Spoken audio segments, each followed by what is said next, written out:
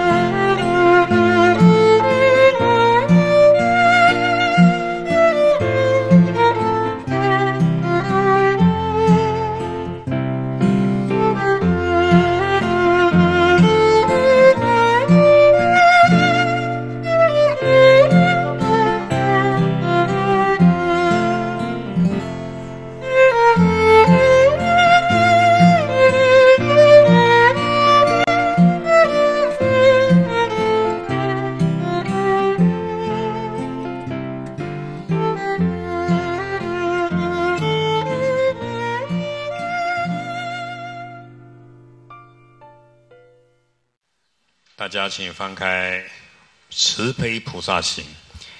那我们不可能全部读完，但是希望各位回去以后能够把它全部都把它读完，因为太重要，太重要。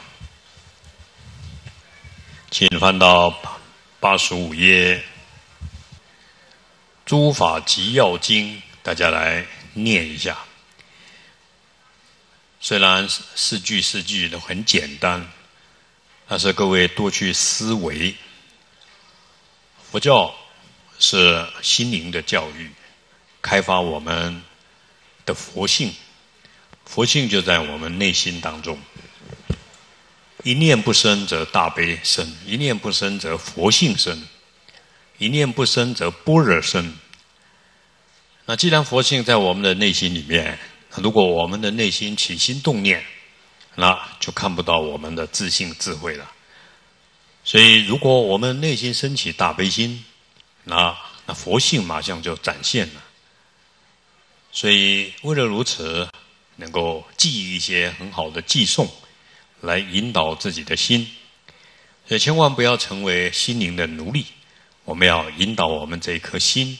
当然，心有贪嗔痴的烦恼心，内心里面有清净的菩提心。但是不能一心两用。当你升起真正利他的菩提心，贪嗔痴的心就不容易起来。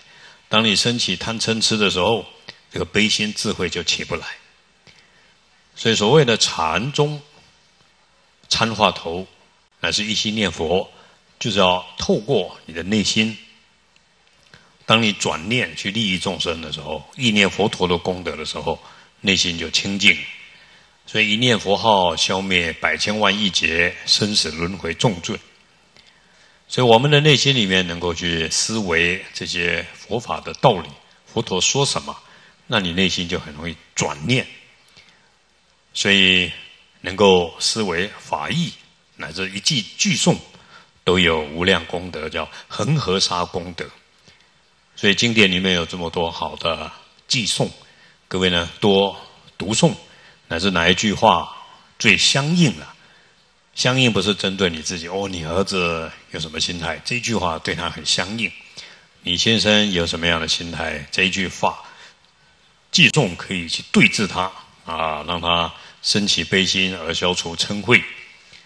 所以，为了更多的众生，那我们要如何去了解更多？学佛就像要赚一千万美金一样，哇，太快乐了！我要去赚一千万美金啊！所以动机很强，那这个动机是一种菩提心，为了众生，为了解脱。但是世间的快乐就引不起你的动机了。就像我们出家人呢，世间人还没出家谈恋爱赚钱，会有动力很强，但是出家人对这个就没兴趣了。啊，像各位在供养生前，虽然是红包，我们看得很法喜，随喜功德，对不对？生前可以安心办道。在家居士可以修大福报啊，太好了。但是如果去赚钱谈钱，那就没意义了。所以各位要知道，什么是我们要抓住的，什么是要我们要放下的啊。所以世间的这些执着要放下，但是呢，菩提心、慈悲心的智慧要升起来。所以诸法集要，以前我们念过了。所以所有佛法的要点叫诸法。诸法集要，那这，因为我们谈慈悲，所以这一品叫悲悯有情品。那各位要多读诵，因为这样我们的悲心才会起来，我们的嗔恚心才会消除，而且把贪可以转成对众生的慈悲啊。所以呢，多读这种慈悲的法语，让了自己的心朝朝向慈悲。就像各位刚刚放生，你过去看那几只鸡，内心有烦恼吗？没有。哦，鸡好可怜哦，我们能够救它，好欢喜哦。这些鸡很有福报啊，啊，这个就是善根。因为你看到鸡的时候，不是说哦，鸡脚后脚，啊，你没有那个坏的想法。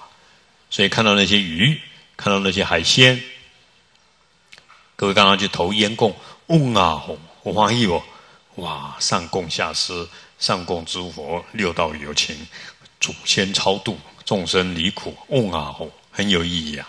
啊，所以今天整天大家都很快乐，浴佛、绕佛塔、点灯、供水，忙的供生，对不对？啊，今天那个中午好不好吃？啊，忙的吃吃慈悲的斋食啊，这里面没有好不好吃吧，反正就是一个吃素嘛，对不对？一个慈悲嘛，想法就不一样了。所以，就像各位要来参加法会，快不快乐？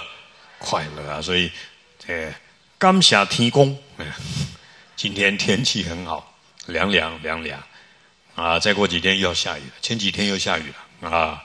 但是我们要办法会，提供说暂停啊，太阳不能太大，风要有点强啊！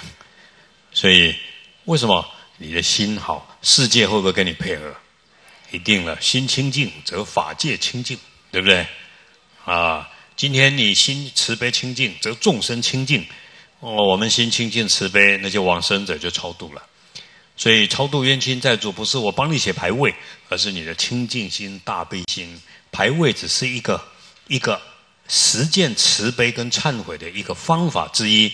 难道没写牌位不能超度吗？不是那个意思。那牌位是我们华人的习惯，而并不是。啊，一定要这样啊！而是说，你有一颗惭愧、惭愧的心、清净的心，对冤亲债主有一个忏悔心，而愿意为他广修功德，希望他成佛啊！不是把他赶走。哎呀，你跟我在一起啊，你痛苦啊！我对你不好意思，我功德不够啊！如果我是佛陀，你来跟我好了啊！所以你才会离苦啊！所以我现在啊。我跟你忏悔修功德，我引导你离苦得乐。所以我每次问问人家说那个超度了没有，我都不敢的，我都问说他离苦自在没有？我绝对不敢问说他离开了没有？我不敢问这个话，一点点排斥他的心态都不敢有，不敢有啊。有时候我会问他去极乐世界，我这样问他是不是跟我爸爸妈妈一样去极乐世界了，让对方感受到说我对他把他相待成我的爸爸妈妈一样，希望他跟我的最爱的父母一样，能够去快乐的地方。呃，对方这个感受重不重要？所以我就对他很慈悲。他只是像我们抱个婴儿啊，婴儿你抱在手上会会有一点酸的，但是你心里很温暖的，很温暖的，啊，你要这样来来表示对他的爱、关怀、慈悲，啊，所以各位你要你拿起冤亲债主的牌位，你要讲两句善言、柔软、好听的话，好不好啊？你们说，你看故龙北超多奇怪，老老菩萨弄啊呢，每次问他啊，那尾超多，我们下叫故啊。啊！你忙合掌，哎呦，拍摄我叫啊！你老母拍摄哦，你看你讲心肝叫，你们都跳起来啊！哎呀，我对不起你啊，我对不起你，我都无了解你，安尼艰苦拍摄哦，所以我今晚要好好啊修行哦，我做功德哦，哎，我跟你忏悔哦，我替你点灯啊，替你施福啦，给你九千一倍啊！啊，你没有对他这个惭愧心。然后你只我你念经念念念念念那么久你都不走，啊，那你这个心态他就不能接受你的忏悔，那你这个心态没有很圆满，他也接受不了你的功德，他不想要接受你的功德，对不对？所以我想各位，我们自己的这种惭愧心跟对他真正的关爱心，这个是超度最好的方法。那最好的方法，当然如果我们不会讲这么好听的话。那就给他念经典嘛，对不对？经典是佛的大悲的语言啊，圆满的语言，所以我们给他念心经啊，念往生咒啊，为他施食啊。所以，但是你要记住，说是因为我要表达一种报恩啊、惭愧啊、慈悲啊，因为我做的没有那么圆满，所以我来念这个经啊。所以在这一点，各位永永远远要记住，特别膝盖不好的人。什么叫气概不好呢？就是傲慢啊，讲话苛刻、傲慢，你很容易气概不好。腰不好的人啊，就是因为喜欢做，压力又大，喜欢做承受这个压力，又要谁谁凉这样，所以那你就会去反弹到自己。所以你要甘愿的去承受，不要有压力，痛就不见了。不然你就边做边念，很痛苦啊。很多做女人的，然后呢又爱又要念，你看，啊，他又放不下，所以呢自己情绪不稳定，所以就造成身心不稳定。好，所以回过头来，以正确的心念，讲出最好的佛的话，啊，用佛的心念出佛的语言，能够展现出佛的行为，那叫念经吧。所以至少在念的那一刻。你要很认真，比如说你在念心经，要无所求的安住在空性，愿得阿耨多罗三藐三菩提，愿所有众生离苦。所以呃，这样来为他们念心经。所以我认为佛法是在用以一个圆满的心态表现我们的语言、态度、行为对待众生的方法。就像刚刚刚看到鸡呀，我看到几位一样合掌，我也合掌。对不起，过去啊，不小心一直杀你吃你，把你当做一个一个好吃的食物，看到它就很亏欠，很亏欠。所以以这个亏欠心啊，我们能够救几只就救几只，希望他吃得好，喝得好。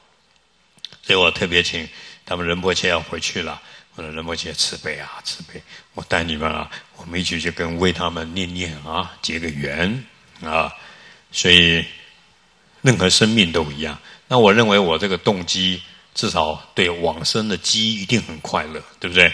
后来绕完了以后，哦，走仁波切，来来来来，我再带你去绕绕上来，绕到往生坛，再好好给他介绍一下。我们汉传天天摆坛城呢，这个就是我们的坛城。藏传的坛城是是是本尊，哇，好庄严。我们汉人的坛城是三恶道。啊，用这么漂亮的好吃的食物，摆一个庄严的食物，甘露坛城，啊，要让他们吃得饱饱的快乐。仁波切就在笑啊，啊，我说这个可能汉传跟藏传可能差在这个地方吧，啊，我们一切都是为苦难的众生，啊，因为苦难的众生对我们来讲就是未来佛，啊，所以这个汉传佛教的福报大一点。当然，仁波切给我解释。他说：“我们藏人没有这么多好吃的了，所以没办法了。啊，所以当然无论如何，所以我们有福报，有这么多好吃的啊，所以又可以利益众生。来，大家一起念一，为身与意业常与善相应，显示三恶道，引之令处理。所以我们修行故意的要让自己生于意，就像所包含在戒，常与善法相应，这样呢，来让三恶道脱离他们的痛苦。三恶道就是生口意不圆满。所以，畜生道是意不圆满，身也不圆满；鬼道畜，鬼道那牲口更不圆满。那恶鬼道和永远在地狱在在受苦。但是我们自己，如果能够生与以善相应，乃至以佛相应，那我们用我们的功德、我们的光，就像我们点一盏灯，用我们的意把这个灯显现成为一个极乐世界的光。愿他们看到所有十方的净土，引之令出离。所以行菩萨道，各位要知道，哦，原来我们的身体可以展现这个力量。所以身体要持戒啊！你的身体如果戒律守得好，你的语言念佛诵经持咒，你的心安住在悲心菩提心，那你当下就可以转化众生。所以依止，什么叫依止？就住的意思。要安住在悲心，住在示范住。所以就像早上仁波切讲了，归佛、归法、归身，要依止三宝，特别要一直在法宝。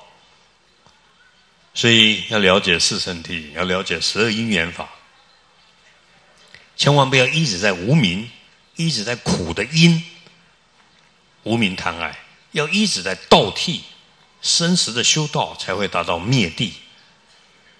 所以，这样才可以脱离痛苦。所以一直就是说，一般人是一直在贪嗔痴，我的脾气，我的个性；但是菩萨要一直在悲心，不执着死，叫因无所住而生其心，只一直在悲心，不能因为金钱、因为脾气、因为一些利害关系而伤害了悲心。所以，如果一直在悲心的人，能去即灭乐。很快你就会进入平静涅槃的快乐，悯念诸众生，所以一直悲心的人怜悯想的所有轮回众生的苦，所以众生的本体都是空性，但是所有的众生都在无名的状态，所以各位要像对方越无名，你要越爱他，越关心他，如母爱己子，妈妈不会舍弃儿子的。所以众生再怎么样的痛苦、伤害你，你还是泯念他，与有苦众生寻求而救护。所以这些三有轮回苦众生，我们要主动的去找出他来救护他。鬼去上蒙佑，得生于天去。所以我们做个那么少的大家都能上不来上不来，念一下恶鬼升天啊，洒个甘露水，恶鬼升天。啊，那个嗡嘛呢呗咪吽，那个那个阿弥陀佛啊，除了升天，还愿他能够往生净土，鬼去上蒙佑，所以连恶鬼道都得到利益了，何况其他众生得生于天去。所以佛陀教我们用悲心去做一切，就像我刚刚讲了，我们要超度冤亲债主，就依止的就是一个悲心啊，对他的惭愧心、报恩心、悲心。所以，而为他发起了一个菩提心，所以把悲心变成责任，就变成一种菩提心，然后不离开菩提心的来为他。所以，我想各位，菩提心不是我在念佛才叫菩提心，你要念成你的任何一个动作都不离开慈悲心，所以不离开菩提心。所以汉传佛教要我们上个厕所、洗个手、穿个衣服，都在当愿众生。啊，所以各位早上如果从台北来，你从台中来，你从新竹市区来，那你没你你的车子在走的时候，或坐在车上的时候，你要要这样意念：当愿所有开车平安，车子两旁的道路两旁的房子住宅平平安安。我们从台北来还看到一些坟墓啊啊，所以愿这些坟墓都能够得到法会功德。哎，如果有方便的话，撒一点甘露水，撒几颗米，就像我们今天在救护那些生命，那鸡一只三百元，所以来当愿所有鸡鸭鹅、鸟类众生同享功德。所以我想，人类的聪明，但是却忘了众生的痛苦。所以各位呢，要经常依止悲心，内心就没烦恼，能去即灭乐。但是进一步泯念诸众生，如何让他们离苦？第三，若具足悲心，爱念诸寒士，是名大丈夫，人天显恭敬。大家要不要做大丈夫？所以菩萨叫大士，有一部论，各位一定要看《大丈夫论》，专门在写如何做菩萨的啊。所以各位呢？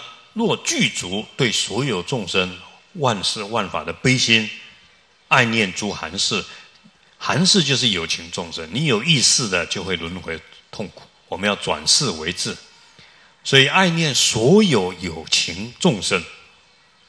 这个人呢，是名大丈夫。世间的人、天神永远尊敬供养你。所以各位，你千万不要怕没钱，怕没福报啊！不要每天这边设计钱讲那个讲那个，不分在家出家。如果你具足悲心，都在帮助所有众生，那天人世间人都会想要亲近你、供养你，你才是真正的菩萨、大丈夫、大士。所以各位要发愿，愿自自己无论如何被打成肉酱，都不升起嗔恚心，不升起排斥的心态，好不好？要这样发愿啊！你千万不要说我现在很好了，你不要惹我就可以了啊！所以菩萨不能如此，哪怕自己剁成肉酱了，抽我们的筋骨，慢慢抽，你就慢慢叫，慢慢喊，慢慢死，都还不想恨对方。我发觉有一些人不高兴，他就脸就刷下来，然后就走了。我歪插你，我手机就把你切掉，啊，不跟你联络。这个都是一种嗔心的表现，那你就没有资格做菩萨。如果你受了菩萨戒，那你就破菩萨戒了。菩萨最大的重戒就是嗔恨众心，嗔恨别人，排斥别人，千万不行。所以这个具足就像大地装载一切一样，就像虚空容受一切一样，包括。对你身上的冤亲债主，你也要具足悲心。哎呀，是我对不起你，你在受苦，我居然不知道啊！哦，这个怨气很重的，哦，杀业债主，我有让你心脏跳，让你可能要开刀了。老实讲一句话啊，今天你要超度一个冤亲，如果你的动机是因为我很痛，所以我来帮你念经、写牌位、做功德，这样没有用，因为你还是自私的，对方感受不了你的悲心。这个时候是因为因为你很痛，所以我所做一切的希望你离苦，根本就忘了我在痛苦，这个才叫悲心。啊，你有听到不？请分析清楚啊，请分析清楚。很多人在修行的时候是因为我，那这个最多是解脱道，他不是因为众生。不但如此，你要把你的苦转为众生的苦。所以，哎呀，做女人好苦，因为你做女人。所以你每天念度母啊，愿所有的女人现世安乐，家庭快乐，身体健康。我来世呢，往生净土，乃至女转男生。因为你身为女人，所以你同情所有女人，不是为你自己，你为的是所有的众生。所以各位要这样转念来修行。所以冤亲债主想到他的苦，为他根本忘了自己的苦。如果是为了你自己去念经，就念几遍，然后我希望自己好，你还是这个念头。我为他念三遍、七遍，是怕他没离苦，而不是怕你自己没离苦。这一点，请各位记住啊！不然的话，我发现很多人把宗教当做一种交换，所以具足悲心。为什么要悲心？念一下：知恩、念恩、报恩、起慈心。因为众生是对我们有恩的父母，所以我们念的众生的恩，我们一定要好好的报恩。我要让众生快乐圆满一辈子。所以那个时候，你才容易具足悲心。所以无论如何，对方跟你讲什么，这个冤亲债主都做过你父母，你对不起他，所以你才能够具足悲心。那这样，你才会看得起自己。我是一个大丈夫啊！我敢牺牲，敢死，我要承担众生的苦，那你才叫大丈夫。所以，那这样，天人悬恭敬，你要做到这样。第四，来。若人有悲心，则能持境界，如月照世间，光明常清净，能令诸众生离愁不忧戚。是故于悲心，毕竟常清净。所以我们亲近善知识，亲近佛陀，是为了亲近我们的悲心，找到自信啊。所以这里面说，如果一个人真实有悲悯心，他一定会守戒律清净的，因为戒律就是保护他的悲心，不要伤害众生，如何帮助众生？所以，一个持戒的有悲心的人，如月照世间，永远光明，永远清净，光明常清净，像十五的月亮。所以，晚上十五的月亮能令诸众生离愁不忧戚，所以悲心才是消灾免难、超度。度众生的方法，所以老实说，我的师父常跟我说啊，我们出家人，你读了多少经典？你读了佛学院，如果你没办法让众生感受到你的悲心，你讲经说法，你念经，你拜忏，是一种悲心，感受到，那就等于没有资格做菩萨。我师父一直跟我强调这个。但是卢居卢虚长老真的是具足悲心，他的手叫都算免手，我们这些弟子都知道。有时候你他去摸女生的手，哦你好，他们说喜欢你师傅怎么没有骨头啊？啊，他的手看摸不到骨头，叫都算免手，这叫具足悲心。法正长老的手，这个手指头超过我一半，啊。生生世世劝人吃素放生，我也是他劝的吃素放生。那时候我接受吃素，还没有接受放生呢。那这个手天天在抄写《普门品》《法华经》，啊，具足悲心，他自然就有这种相，这种相令众生皈依。所以，如果你能够具足悲心，你都不用讲话，就像月亮照在黑暗的世间。众生一看到，马上就脱离恐怖忧愁。是故于悲心，毕竟常清净。所以各位要要永不离悲心啊！无论在什么状态，不要为自己想，为自己想你你干嘛欺负我？我怎么没得到我的？为对方想，为对方想。就像我说，我们早上哦，仁波切要来了，怎么排？怎么排？几点做什么？怎么方便？各位要。具足悲心去想，怎么样可以让大家得到，每个人都得到什么样的利益？各位要开始想，你不能说我我来参加法会，我就找一个我喜欢的位置坐着，其他我不管。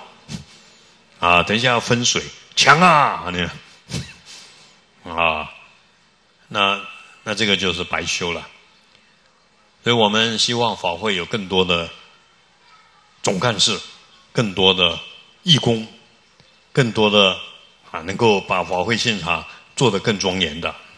我一直不放弃这个工作，我永远如何让法会可以加分，想办法在几点几分做什么。我知道我这个时间讲这个，各位会睡一半，正好睡，睡饱了再说。啊，但是在法会睡觉一醒来，精神多好了，像打坐一样。啊，所以，但是随缘，只要大家快乐就好嘛。啊，所以，但是无论如何，各位要一直去想如何让对方更舒服。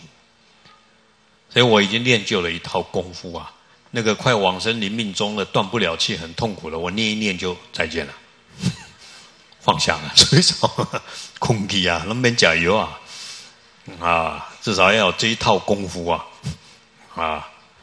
我想就像一个小孩在哭，你就给他握握手安抚一下，他就又又睡着了，不哭了，啊！至少他内心平静了。但是如果愿意听课的人，他没有睡觉，哦，他就听到心里面去了。要么就两种了，一种睡着了，一种听到心里面去了，啊！至少不会起烦恼。那这是什么力量？那叫悲心的力量。真爱的力量，所以我在这边千交代万交代，我们这个团体故意取名叫慈悲置业。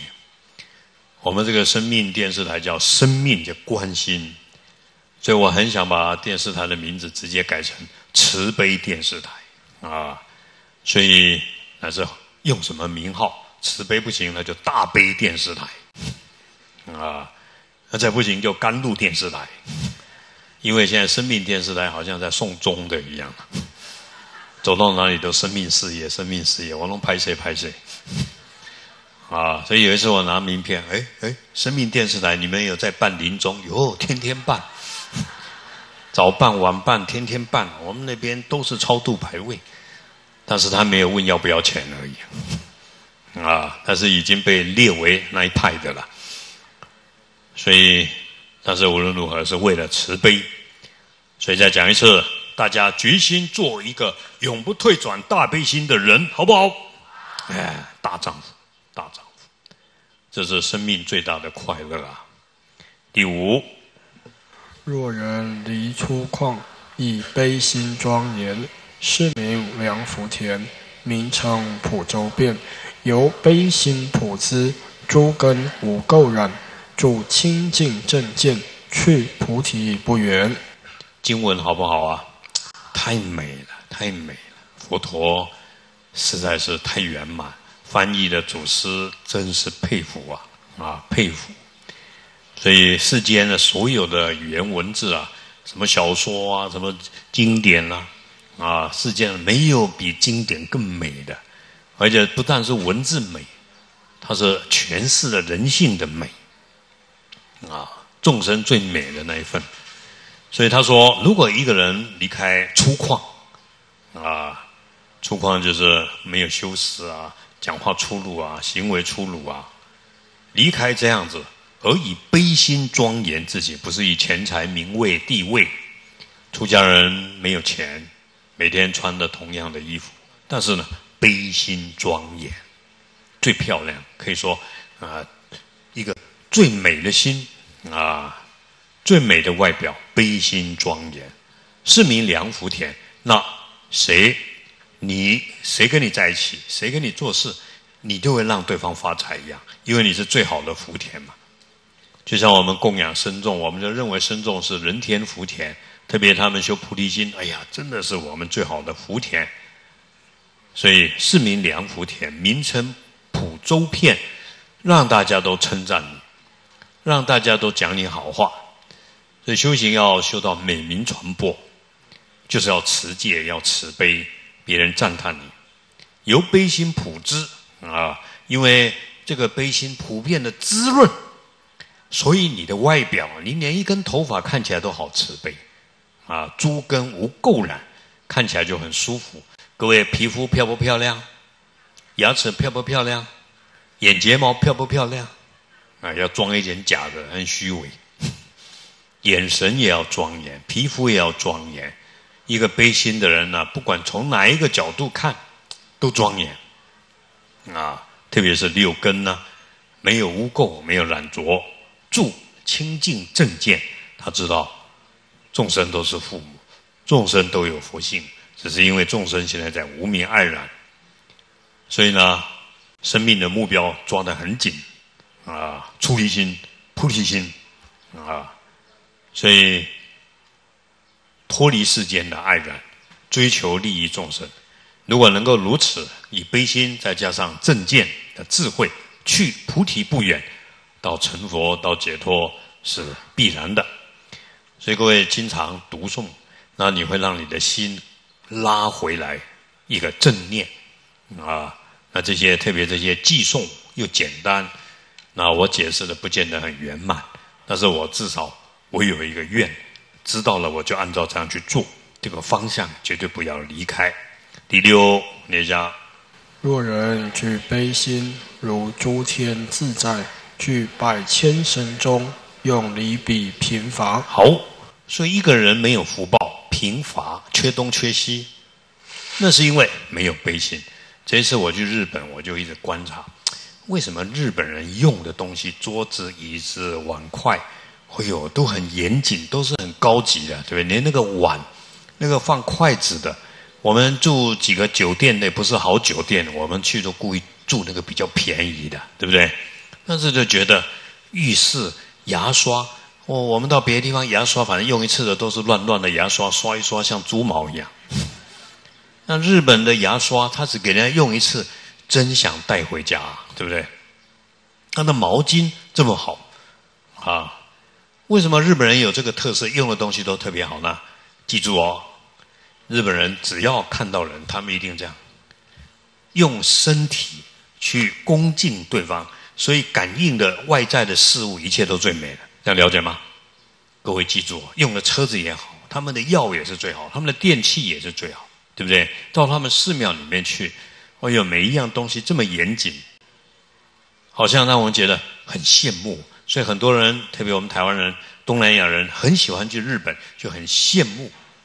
每一样东西，那个车子小小的这么精致，啊，看起来这么方便。每一条街、每一条巷子，几乎没有看到垃圾，因为日本人你丢垃圾，全部人都会批评你的啊，所以他们很爱面子，所以他们外表上尊敬别人。所以我在十字路口看他们两个聊天，业务员要走了，他们一定要这样，一定要这样，或两个都在这样。下回换我们了，只要见面都这样。这样你腰就不会坏 啊！所以这一次我要离开机场，他们几十个信徒来送啊，都在掉眼泪。我就跟我们法师说：“向后转。”他们就转过来，我就九十度，对大家拢讲这里。我用日本式的讲，真实的跟对方敬礼啊，谢谢他们啊，谢谢他们。但是这种外在的行为就显现外在的福报，好不好？所以各位今天晚上回家第一件事情，老婆好，老公好，儿子你好，他们一定惊掉，这是像嘎呀。这是日本人的优点，唐朝的文化。日本人还有一个优点，各位看过吗？他们那些脸画白白，那个叫艺妓，对不对？他们嘴巴都画成这么小，我就问他们为什么要这样。他说：“我们日本人呐，连骂人都不能有声音，所以以后各位开始拿口红就画成弄弄弄，不然我们这菩萨舒服。就到你我跟你讲，我关你吹要大啊！所以各位唐朝的人都是我嘴巴那么小啊，那讲话细声细声好听啊，这个都是一种儒教的教育。”但至少他们落实在社会上，啊，日本人的耐心，主管叫你去吃饭，吃到十点你都要吃，喝酒你要陪着喝，啊，不然你永远没有机会，对不对？升官，而且主管穿什么，你全部要穿什么，全公司没有一个穿不一样的，啊，日本的小孩子没有一个人衣服会自己定做的。哎，学校怎么说？全部人都这样，没有一个人会特别改的裙子比较短或身体比较紧一点，不然全部人都会看不起他。日本人是活在这种状态，但是因为如此重视别人的感想，所以呢，他外在的世界感召了就很好。包括他们在插香啊，他们如何做烟供啊，看起来都这么庄严。他们做护摩啊，如果我们这一套火供给他们看，你会花给你们这边是垃圾场啊。你看，空个听用丢的啊！他们没有办法习惯的，他们要做就什么都做得很精致，对不对？你一碗饭菜，那什么精致合菜这样啊？有规定的。那我想，当然有它的约束面，但是它的表面，那我们尊敬啊。所以简单的说，我顺便提到，希望大家修悲心，不然你这辈子没福报。不然呢？你如果有悲心，若能居悲心，那你像天人一样。所以我跟很多我们藏传的师父说啊，你们真的很认真，在在修仪轨论啊、辩经啊、闭关啊、修菩提心。但是呢，所以我刚刚为什么会提到，我会带人不会去去看我们的坛城，叫慈悲坛城啊，因为我们是具悲心，对堕胎的、对动物，所以人类亡魂，你看我们布置的这么庄严啊！我故意要跟他们这样说，我们要学你们的上供修本尊，你们要学我们的下施悲心啊，这样合起来呢，才可以福慧圆满，对不对？不然永远。都是要接受我们供养，哪一天你我说你们要拿钱来供养我们，好吧？啊，所以因为我们具悲心，所以在显教的教育，所以我早上也跟仁波切格西说，请问你们有没有浴佛功德经？没有。我问仁波切，你今天浴佛第一次这样，他不知道那什么意思，这是佛经里面写的呢。为什么藏传佛教没有？没有，我现在告诉你了。有这部经，那你们赶快翻译，赶快看才对呀！这个才是学佛的态度。但是学佛不能傲慢，那我这个就好了，我这个就好了。我不学别人的，那何况是佛法？佛法不分汉传、藏传，在日本有真言宗、净土宗啊、禅宗、日言宗，都很专业啊。但是呢，也是很可惜，就是说没办法广学。那我们华人去，那就应该广学他们的精髓，他们也是从唐朝拿过去的，啊，但是我们都应该把它学过来，然后呢把它扩散，啊，所以希望各位这一点要有悲心。什么叫悲心？为对方想叫悲心。今天你学佛法如果不够悲心的话，那你只会学自己喜欢的。我认为我这个对，所以有时候我都跟他讲，我已经讲这么多次《地藏经》的重要，为什么？我有时候跟很多上司说：“上司，你们讲讲《地藏经》好不好？因为我们汉人呢，《地藏经》是我们的入门，对不对？啊，汉人都是从《地藏经》的孝顺和入门，这一点你要度汉人呐，应该看看《地藏经》，讲讲《地藏经》啊。所以，若人居悲心，如诸天神，如此福报自在，百千万生永离彼贫乏。所以各位，要不要福报无量？要要，你没有福报怎么度众生呢？对不对？怎么利益众生呢？所以要有悲心，百千生呢。第七，来，若人亦持持如今可贵重，复安住悲心，思为无尽宝。无尽宝就是如意宝。哎呀，要什么你就给什么，要什么你就变什么。啊，如果一个人义，就代表心正直，归三宝。所以我就不虚伪，不残取，不欺狂，不骄傲，也不自卑，我就老老实实的念佛、念法、念身。如果一个人有这种直心，啊，这人心瓜，后后来恭维他，虽然他粗，但心光没败啦，滴滴啦，就是这个意思了。直直，特别你皈三宝更要直直啊，那你就像黄金一样的贵重。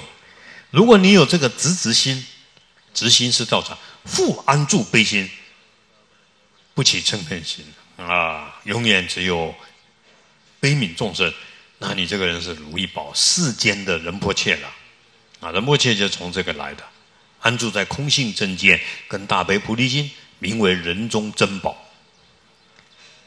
所以我想各位在这一点不要虚伪狡诈，直直心是你看到真相，诸法因缘所生起。本体皆平等，皆空，要有这个直直心。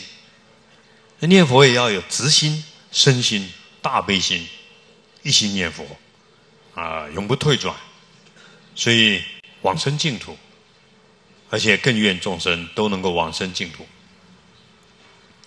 第八，若人具精进，常勤求正法，以悲心明灯，为说除疑暗。常于昼夜中不舍其悲意，随其所至处要说而无懈。所以各位要很喜欢跟众生说离苦得乐的佛法，永无懈怠，永无懈怠。啊，我想生命的意义就是能够弘法利生嘛。所以做个菩萨也要如此。所以如果人具足精进的力量，常勤求正法，啊，能够利益众生。法门无量，我们都要去学。然后呢，以悲心明灯放光，把你所得到的离苦得乐的方法利益众生，以悲心明灯为所有众生说明、消除怀疑、无明暗淡。啊，众生不信三宝，不了解空性，我们要想办法，常于昼夜中不舍其悲意。所以，我想各位呢，日日夜夜任何时间能够帮助众生的，我们要想尽办法。所以各位不要残取虚伪。什么叫残取虚伪？我排位一张一百块，啊，点灯两百块，所以不要设计别人的钱，不要，千万不要。啊，做生意，我也是老老实实的把最好的东西供养对方，那这个价钱是比较平价，啊，我也不会跟你讨价还价，这也是直直。所以同样呢，我们弘扬佛法，讲佛法。千万不要为了知名度，也不要为了骄傲，也不要为了名闻利养，才去说法啊！所以常于昼夜中不舍其悲意。我怎么样让我所寻求的正法，让全世界都知道？所以随其所至处，不管到哪里呢，很愿意快乐的跟对方讲了这个离苦得乐，而且是对治他的根气，不是说我只讲密宗，我只讲华严经。我只喜欢念这个，而是随顺众生的需要。啊，最近有人问我说：“师傅一辈子光念大悲咒会成佛吗？”我说：“不能讲能不能。如果你知道念大悲咒的动机，以及你了解观音菩萨的心，那你这样任何法门都是个方便。方便就是要要我们有佛的心、佛的意，那你可以这样念。”但是如果你要广度所有众生，那你要站在众生的立场。这个人喜欢地藏经，这个人喜欢念佛，这个人喜欢吃素，这个人喜欢布施。那我想，那你要为众生而去了解这个法，来引导对方。所以站在你个人，你可以一门深入。但这个门讲的是透过大悲咒，透过念佛，让你安住在空性菩提心啊，让你在净土一样，那可以。但是针对众生。那为什么释迦牟尼佛要讲出药师佛的法门？而释迦牟尼佛要讲出极乐世界法门啊？那释迦牟尼佛是随顺众生的根气因缘而说法，所以那当然我们应该要参与多一点，看你站在什么角度。所以我希望各位要学习说法啊，要说而无懈怠啊。那千万不要说啊，我懒得跟你说了，没关系，今天不行，明天再跟你说。哎，明天还不能跟你说，我也回向给你。我念心经回向给你，就在跟你说法。我这个人爱生气，我帮他念大悲咒啊，念嗡嘛呢呗咪吽，思维观音菩萨的心融入在他的心里面。所以做一个菩萨，要让所有人感恩你，看到你对我有恩。所以我们中国人叫师父，师父啊，你如我父亲一样啊，给我佛法，让我有新的生命。爸爸妈妈给我们肉体的生命，师父给我们解脱成佛的生命，法身慧命。那一个菩萨不分在家出家，要让对方从内心里面感恩你、尊敬你，那你要表现出你的悲心啊。但是我认为这个都是修悲心的助缘，所以悲心即清凉。南无清凉地菩萨，习众生热闹，这个慈悲出来，所有痛苦都没有。令得上妙乐，后获真常果，让他现在得到殊胜的快乐，将来他就可以进入净土，常乐我净，成为成就佛果。若能安住慈忍无上宝，如果一个人修行人能够安住在这个慈悲忍辱，啊，你修慈悲，别人还是会攻击你、伤害你、骂你、诽谤你，啊，你想要对他布施持戒，对他那么好，他还是会伤害你。但是你一定要安忍，所以慈悲忍辱才是无上宝，一切诸有情。如果你这样去修，以后看到你都像看父母一样。然后你引导他学佛，你讲请他吃素，别人口才再好，是个博士，请他吃素，他也不会吃素。所以能够修慈悲怜悯心。这是佛教的精髓，没有比这个更重要。佛教的精髓，佛教的基本道理是空性，佛教的精髓是慈悲，但是慈悲以怜悯心做基本，就不忍对方苦啊，不忍。所以能够修慈悲，这才是所有利益安乐的根本。如果一个人没有这种悲悯心，将来一定只有痛苦啊，轮回的苦。所以，但是慈悲要以忍相应。既然你要修悲悯心，你要安忍了世间的变化。你你你吃素啊，你也会身体不舒服哎，对不对？呃，吃素啊，什么太凉啊，吃素啊，缺维他命 B，啊，很多人讲法很多了啊。但是无论如何，我们要安忍于这个状态啊。所以能够如此，自他则无恼。你修悲心，又能够修忍辱，自己也不会烦恼，也不会让别人烦恼。千万不要让别人烦恼。那修慈忍的人，世间选喜见，各位要有人缘哦。啊，像我师父我说：“哎呀，海涛，你过去是结的缘太好了。”然后我去我去受戒的时候，九十岁的那个女医生呢，还长得很漂亮，义工啊。我我经常生病就来看。他跟我讲一句话：“你这个人是万人迷，我都不起瓜七的万人迷。”我那时候我还想，今天我是讲，哎呦，人家有神通呢啊！因为我那个时候出家，我并不想要什么弘法利生，虽然我有这个动机，但是我觉得我这个人就好好的忏悔，好好的打坐，好好的二十年深入经藏啊，然后呢忏悔业障，所以现在能够安安静静就不错了啊。但是现在想一想，那也是过去修的，啊，那人家才不会讨厌你。就像我师父说了，海涛海涛，天天在电视，你不要让人家看到你讨厌哦，啊，你怎么装的让人家不讨厌你？这没办法装，就是说你的动机是不是个悲悯心？不管你念经啊、念佛啊、讲课啊、带活动啊，你要让对方感受到你的慈悲。只是对我来讲真的不容易，但是我一直练习，我一直练习这样啊，所以现在还故意在带团啊，像这次我们带团去 Okinawa 琉球岛，四十几个人，有很多不认识的，但是我们一定要让他吃得好啊，睡得好啊，安排他的时间呐啊，这里面有钱没钱都是我们要我们要服务的对象，因为我是一个领队嘛啊，那我总要去去照顾一切。那各位，我想这个是这个就是修行，要故意安忍在这里面。然后呢，别人可以讲说：“哎，师傅你蛮慈悲的，阿弥陀佛，修的不错，演的很像啊，努力努力再努力啊。”所以，但是我认为这是很重要的。所以这样人家才会接近你，你才可以把佛法给他。所以世间选喜见，后得生天中。修慈悲仙人不会堕落三恶道，大福报升天，乃至往生净土。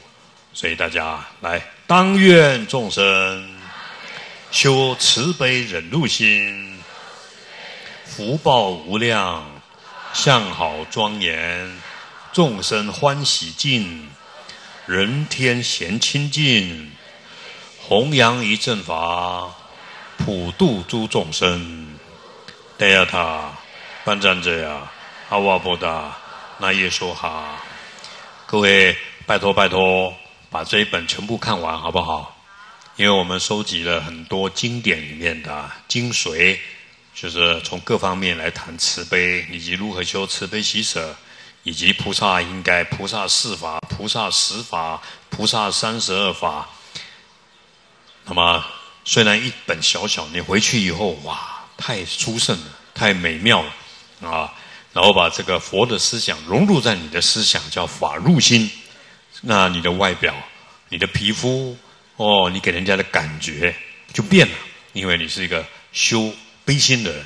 所以我在这边也很慎重的宣布，希望我们慈悲之业的所有信徒、所有义工、所有法师，我们可以不需要有很高的能力，但是我们要给别人一个慈悲的感受。也不要一直给人家募款，好不好啊？哎，很多居士师傅，我来帮你募款，那大家看到你都怕，爱挤要过来，急瘦啊过来啊，啊，所以很好像好像不给钱又不好意思，我认为千万不要。我们是劝募大家发慈悲心，而不是钱，了解吗？啊，这个钱只是一个慈悲的方便，慈悲是当下的，当下的待人接物啊，路上的小猫小狗，呃，对这些帮你开车的人，路边你都一直展现慈悲。那我想，这是现在的社会的需要。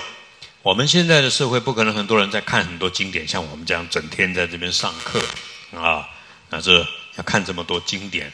那现在人就是一见一次面，一次感觉，你必须从这个第一次的感觉，让对方觉得你是一个可以尊敬的人，而且你有一种魅力啊。为什么你旁边这么多护法神怎么会没力量啊？啊，他们看到你就不一样。因为你不断的在保持这个悲悯心啊，一子一悲心啊，柔和修忍辱，这样呢，为了引导众生离苦得乐，这是最重要的。所以我们今年开始在世界各地成立慈悲协会、慈悲基金会。我在外面一直讲，不是为了钱，我也希望降低金钱的需求啊。所以我明年我们把生命电视台可能第四台的花费太贵。一个月将近五百万，并不是募不到这个钱，而是说会给信徒很大的压力。时机好不好啊？不太好，不能再给信徒压力了。然后呢，但是愿意看的人可以透透过 MOD 啊，或者装小卫星啊，那都很便宜啦。甚至现在那个 YouTube 装一个电脑卡都可以，现在每一部手机都可以看得到。所以如果你有这方面问题，老婆萨。啊，你都不要尊，那你打电话来，我们会成立一些人告诉你怎么装，或告诉你儿子怎么装，你可以二十四小时免费看到了，因为你装个小耳朵啊，装个机上盒啊，啊，或是如何如何。但是呢，所有的我们要为了修慈悲心而尽力啊，去助念啊，去关心老人啊，独居老人啊，这些单亲家庭啊，这些流浪动物啊，孤魂野鬼啊，包括世界各地。所以我们要积极从这方面去努力，所以希望大家加入慈悲置业，好不好？哎，以慈悲的自愿做我们的所有的善业啊，然后呢，随着地方的需要做任何一件事情，包括希望各位来学敲法器，好不好？唱诵，下回我们办法会通通居士唱，好不好？看哪一队唱得好，对。一下他唱，哎，看那个比赛。那我们现在到处要组合唱团，慈悲合唱团，不见得说唱的好听，但是很慈悲就好，唱给老菩萨听，好不好啊？下回我带你们去坟墓区展现歌喉，唱靠调啊，唱个一敲多啊，因为你的慈悲心嘛，就可以让亡魂感动。老实说，我们在超度是不是在唱？超度就是在唱啊，心经往生叭叭叭叭叭一直唱。那么这些经文只是在表达一种悲心的力量，所以有了悲心，世间人喜欢听什么，我们就唱什么，对不对？哦，那唱唱大悲咒好听啊，因为有慈悲，那个大悲咒就好听啊；因为有慈悲，那个地藏经就好听啊。就像刚刚我带了带各位念这个寄颂，可不可以做成一条歌啊？哦，玛尼贝美吽五个字就慢慢念就好了。啊，你就这样一直念，一直念，一直念。哎呀，那个经文美不美啊？好美！再讲一次，心美最漂亮。各位，你可以活到八十岁、九十岁，聊聊聊聊，像德列莎，但是德列莎最美哦。啊，千万不要把美建立在外表。那你建立在外表，你会给人压力。今天我化妆干了，我化妆干了，你不垮掉啊？你已经给人压力，你已经给人家很可怕，对不对？因为你的动机是在展现自己，而不是。